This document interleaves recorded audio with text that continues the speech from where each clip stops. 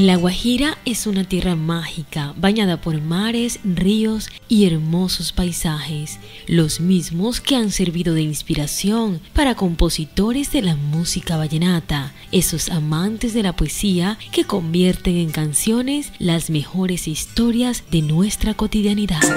sé por qué la Recorrer las vías de este bello departamento es adentrarse en la magia de una tradición auténtica, llena de calor humano, alegría y contraste cultural. Nuestros visitantes son el mejor testimonio que tenemos para definir la belleza de nuestra península. El paisaje de la, la península de La Guajira es fenomenal, indiscutible para discutir en lo mejor de Colombia,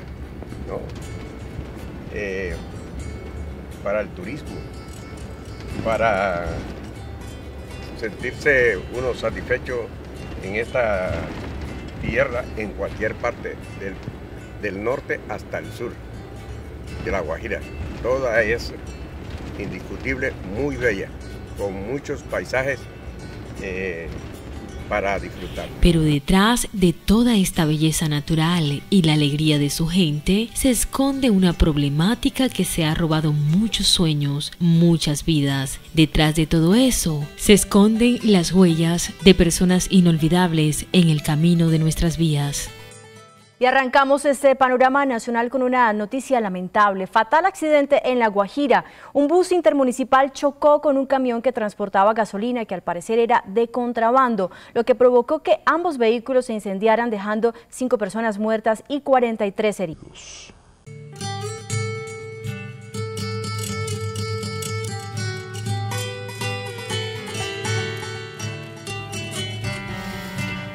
Mi hija para mí representaba muchas cosas lindas, muchas cosas especiales.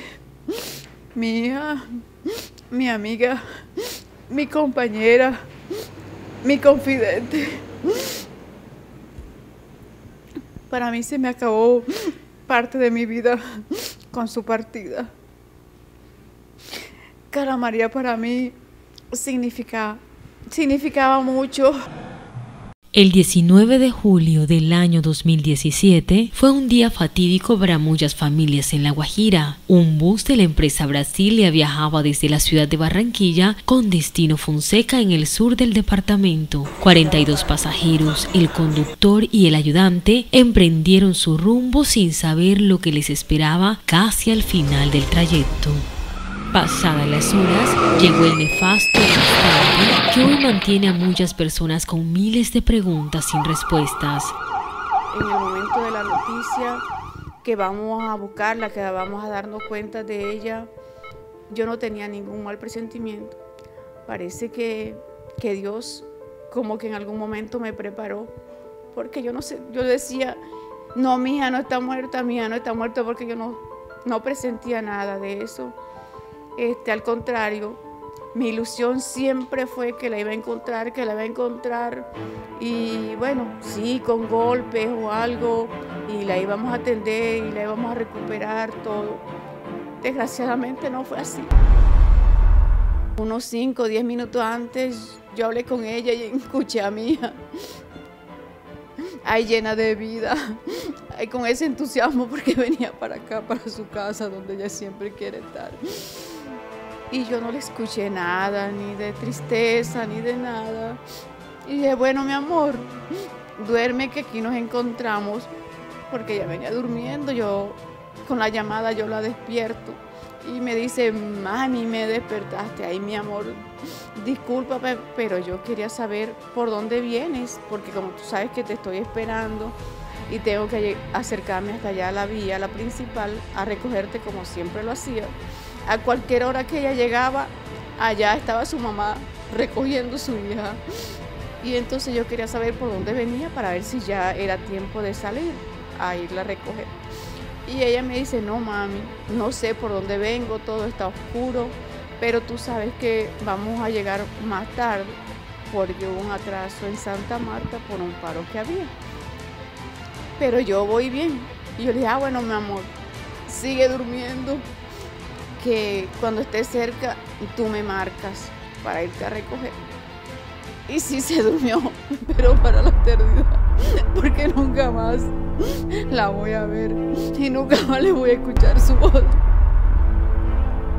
Los huecos en las vías, la imprudencia vial o tal vez el contrabando ilegal de gasolina hicieron perder el control del bus del conductor, quien a su vez colisionó con una 350, al parecer cargada con gasolina de contrabando, y al dar tres botes terminó encendido en llamas con los pasajeros a bordo. Yo presentí, yo sentí un grito, yo presentí que él venía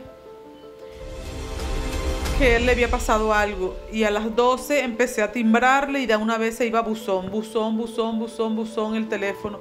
Seguí timbrándole a la una, o sea, yo le hice como 33 llamadas, recuerdo, y le dije, este, yo decía, Dios mío, ¿a quién llamo? Llamé a Brasilia, no me contestaban, llamé a, a Brasilia de toda la costa, nada, no me contestaban y como a las dos y pico de la mañana vi la noticia que publicaron en el Facebook y cuando yo vi esa noticia que eran cinco muertos de 42 pasajeros, hubieron cinco muertos, ahí me di cuenta que mi esposo había fallecido en ese, en ese accidente. Pero es que apenas hubieron cinco muertos, de tanto él no puede ser. Yo le dije, sí, sí es él porque él, la naturaleza de él era esa, o sea, él no iba a él quedarse afuera mientras que otros estaban adentro muriendo. Yo dije, él se mete a sacar hasta la última persona que esté allá adentro. Él se mete a sacar hasta la última persona. Yo aún no sabía cómo había sido y qué era lo que él había sido. Simplemente yo lo presentí y así fue y así sucedió porque yo sabía que él hasta que no sacara la última persona del bus no se iba a quedar tranquilo. Aunque no hubiese nadie, en él se hubiese vuelto a meter a verificar que no había nadie en el bus. Había salido como tres veces y volví ingresaba. La última vez que intentó sacar a, Carla, que ellos eran compañeros de, silla cuando empezó el, el, el bus, cuando ellos se montaron eran compañeros de silla. Él le tocó el 8 y ella el 7 y, en Santa Marta, cuando hubo la, manifestación, ella se puso en la silla detrás del chofer. Cuando ella ve que él sale y entra, ella le pide ayuda a él. Ella le dice, ayúdame, ayúdame. Y él entra y le dice, ya voy por ti, ya voy por ti. Eso es lo que me dicen que él le decía, ya voy por ti, pero no te veo.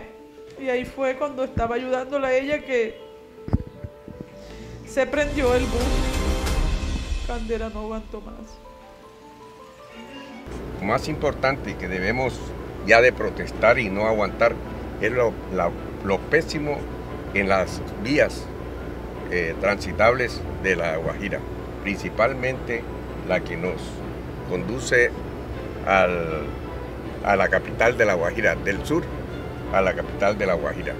Muy pésima en donde han causado muchas tragedias para enlutar muchas familias de este departamento muy doloroso para tanto las familias enlutadas y para eh, todos los habitantes del sur y norte de La Guaira.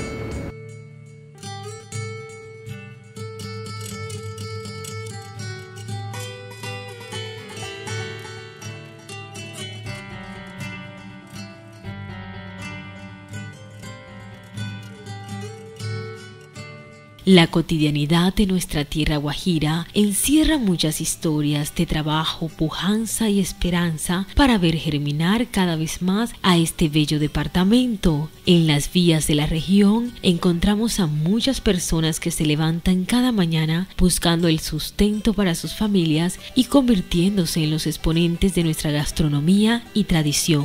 Son ellos quienes brindan su servicio a todos los que se transportan por las vías. Son ellos la cara amable para nuestros viajeros.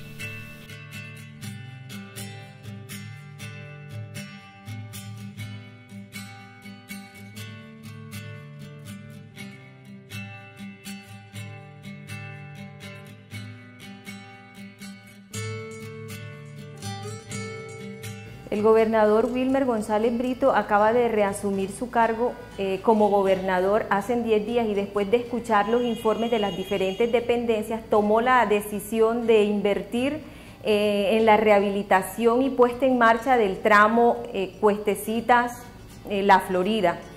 este, esto es prioridad en la agenda del doctor González Brito. En este momento puedo compartir con ustedes que se está terminando de hacer el presupuesto para posteriormente comenzar a hacer los trámites y hacer la inversión que tanto se necesita en esta carretera.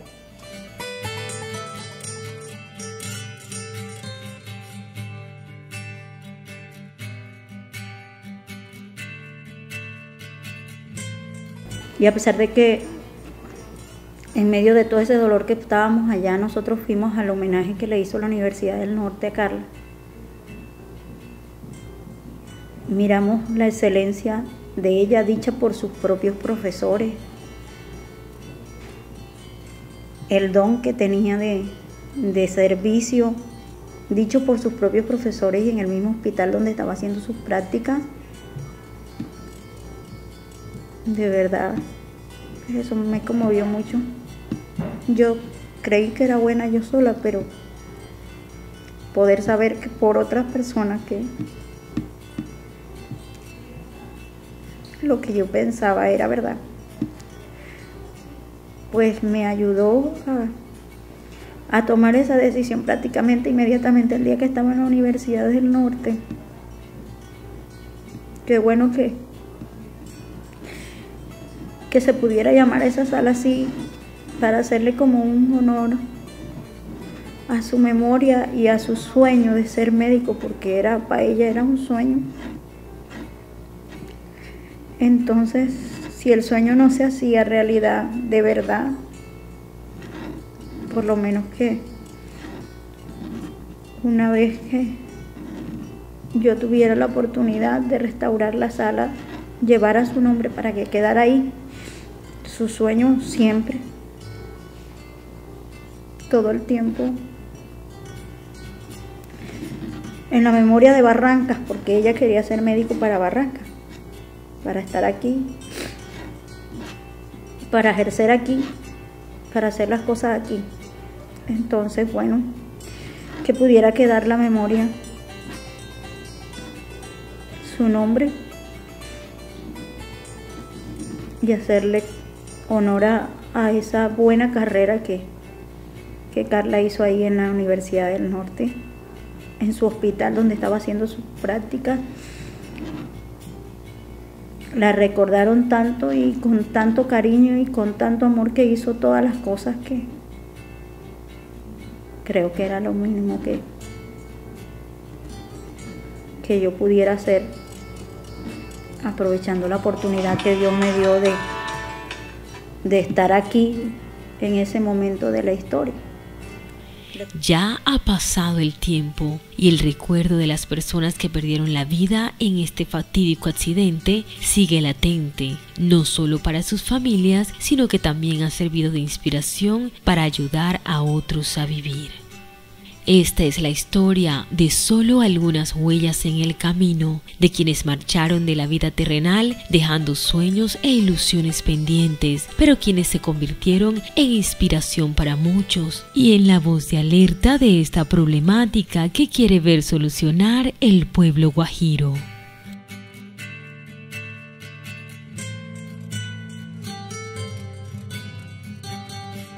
También es la historia de quienes a diarios en las vías continúan recordándonos que pese a las dificultades hay que seguir adelante, que hay que seguir aferrados y apasionados por nuestros paisajes, su gente, el colorido de nuestras montañas y majestuosidad de nuestros pueblos, que hay que seguir inspirado en los viajes por todo lo que miramos a través del vidrio del vehículo, las sonrisas, la calidad humana y la belleza de nuestra región que hay que seguir aferrados y apasionados por nuestros paisajes, su gente, el colorido de nuestras montañas y majestuosidad de nuestros pueblos, que hay que seguir inspirados en los viajes por todo lo que miramos a través del vidrio del vehículo, las sonrisas, la calidad humana y la belleza de nuestra región. Qué bonito sería viajar por nuestra península con vías en buen estado, donde no exista temor a la muerte, solo el deseo de seguir en cada viaje con nuestra Guajira mágica y sorprendente. Hoy mi piel lo siente tu calor al despertar y no comprendo por qué estoy viviendo esta realidad. Yo pensé que esto sería para siempre y tú y yo hasta el final, pero estaba equivocado y no hay tiempo para llorar.